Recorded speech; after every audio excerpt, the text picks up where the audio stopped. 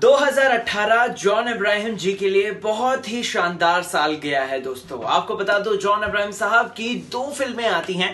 पहली आती है देशभक्ति से ओतप्रोत फ़िल्म, जिसका नाम था परमाणु। परमाणु, द स्टोरी ऑफ़ पोखरन जिसे क्रिटिकली अच्छा रिस्पांस मिलता है। फ़िल्म अच्छी थी और बॉक्स ऑफ़िस पे भी ठीक ठाक बिज़नेस करती है, ठीक है?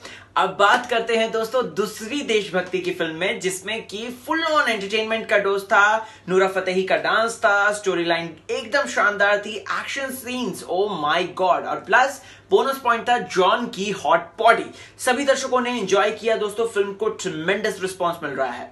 अब आपको बता दूँ कि जॉन की फ़िल्म यानी कि दूसरी फ़िल्म जिसे कमर्शियली अच्छा सक्सेस मिल रहा है दोस्तों, वो है सत्यमेव जयते और सत्यमेव जयते 100 करोड़ पार होने वाली है। जी हाँ so all you crazy fans out there जिन्हें जॉन का काम पसंद आता है, आप लोगों के लिए बहुत ही अच्छी न्यूज़ लेकर आया है। आपका ये फिल्मी आ रहा जॉन अब्राहिम सर की फ़िल्म यानी कि सत्यमेव जयते 83.99 करोड़ टिल डेट कमा चुकी है इंडियन बॉक्स ऑफ़िस में। ओ एम जी पंद्रह अगस्त को होती है फ़िल्म रिलीज़ दोस्तों, और उसके बाद कोई ऐसी बड़ी फ़िल्म नहीं आती है। तो बॉक्स ऑफ़िस पे ट्रिमेंडस सक्सेस मिल रही है जॉन की फ़िल्म को। और आने वाले दिनों में मैं विद इन वन वीक कह सकते हैं, मैं आपको बोलते हुए नज़र आऊँगा कि भैया जॉन साहब की जो फ़िल्म है, सत्यमेव जयते, उसने सौ करोड़ कमा लिए हैं। और जॉन के अभी तक के करियर की सबसे बड़ी फ़िल्म बन गई है ये।